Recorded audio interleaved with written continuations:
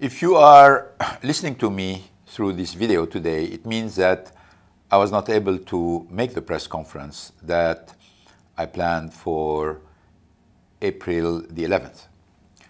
But I wanted to tell you the essence of the message that I wanted to develop on April the 11th and hopefully answer the, so many questions that I'm sure you have on your mind.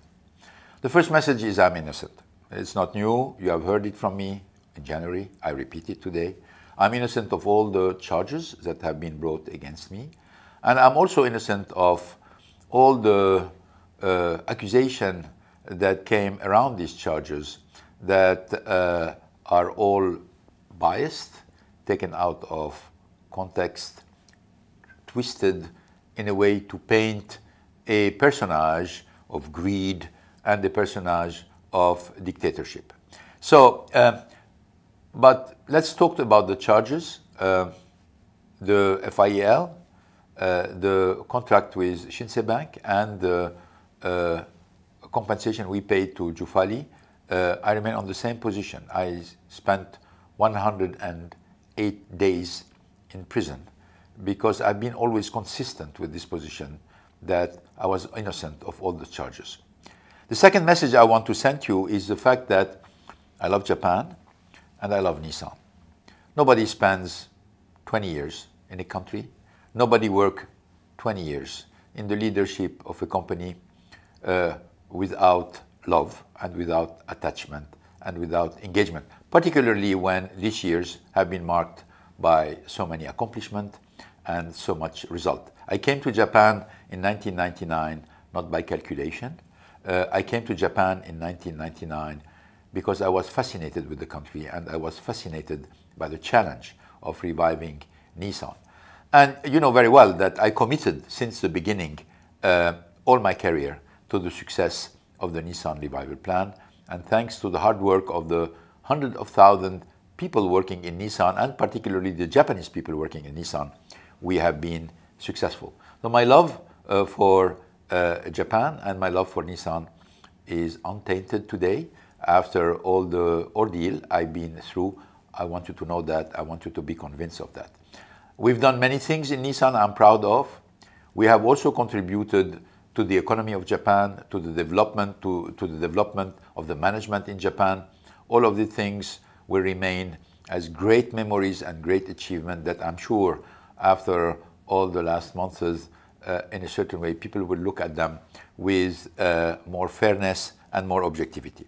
The third point I want to tell you that this is a conspiracy. This is not about specific events.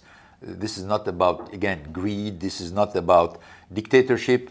This is about a plot. This is about conspiracies. This is about backstabbing. That's what we're talking about. And why? So you can say, why, why this happened? Why it happened? Because there, there was first a fear that the next step of the alliance in terms of convergence and in terms moving toward the merger would in a certain way threaten some people or eventually threaten the autonomy of Nissan, which by the way has never been threatened for the last 19 years when the alliance was created. I've been the fiercest defender of the autonomy of Nissan and I made it very clear that no matter what are the steps in the future, this would continue. But this autonomy must be based on performance. Nobody get autonomy for the sake of autonomy. People get autonomy because they can be more performant with autonomy, and that was that was where the fear came, because the performance of Nissan is not good. It has degraded a lot.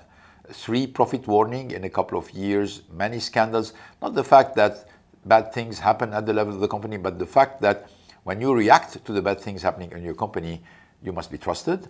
And in this case, in many cases, uh, it could not be trusted because uh, the company said problems were fixed where they were not fixed. This is where we had a problem with the actual management of the uh, of the company. So these people are known. That means we're not talking about. I, I have a lot of respect for Nissan employees. I'm talking here about a few executives who, obviously, for their own interest and for their own selfish fears, are creating a lot of value destruction. Uh, names, you know them. We're talking about people who really played a very dirty game into what's, what's happening. But hopefully the truth will happen and the facts will happen. But at the end of the day, during all this period, I suffered not only because of my case, but who was taking care of Nissan? Who was taking care of the brand? Who was defending corporate, corporate value? Who was defending the shareholder interest?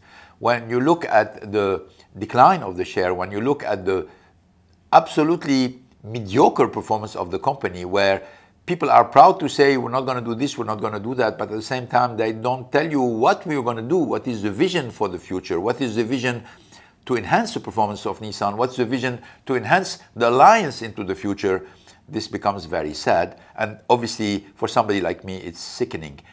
For somebody who has dedicated 19, 20 years to do the contrary, which is create the corporate value, enhance the brand, seeing the laxism and the lack of attention is really very difficult to take. I'm worried.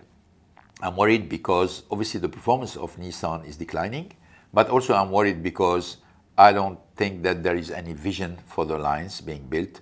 Uh, frankly, sitting down around the table, being consensual about decision, this is not a vision for something in, in an industry which is as competitive as the car industry.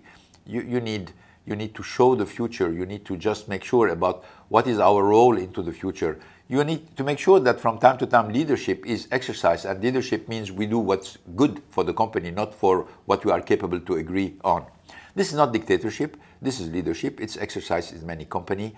And for people who say, well, the, there is only two options, consensus or dictatorship, that means they don't know what leadership is about. And this is very sad at the head of an organization as complex and as large as, as the Alliance can be or as Nissan can be. Finally, what I would like to say is my big hope, my biggest wish is to have a fair trial. Um, I am privileged to have uh, three competent lawyers uh, around me who's going to defend the case, but they don't share with me a lot of uh, serenity about the fairness of the trial. Uh, I'm not a lawyer, I'm not competent in this matter, but I will leave it to them to explain to you what are the specific conditions that are required to ensure a fair trial that I can be hopefully vindicated. Thank you for your attention, and I'm sorry I was not able to share more with you and respond to many questions that you have in your mind, but hopefully we will do it at a certain point in time.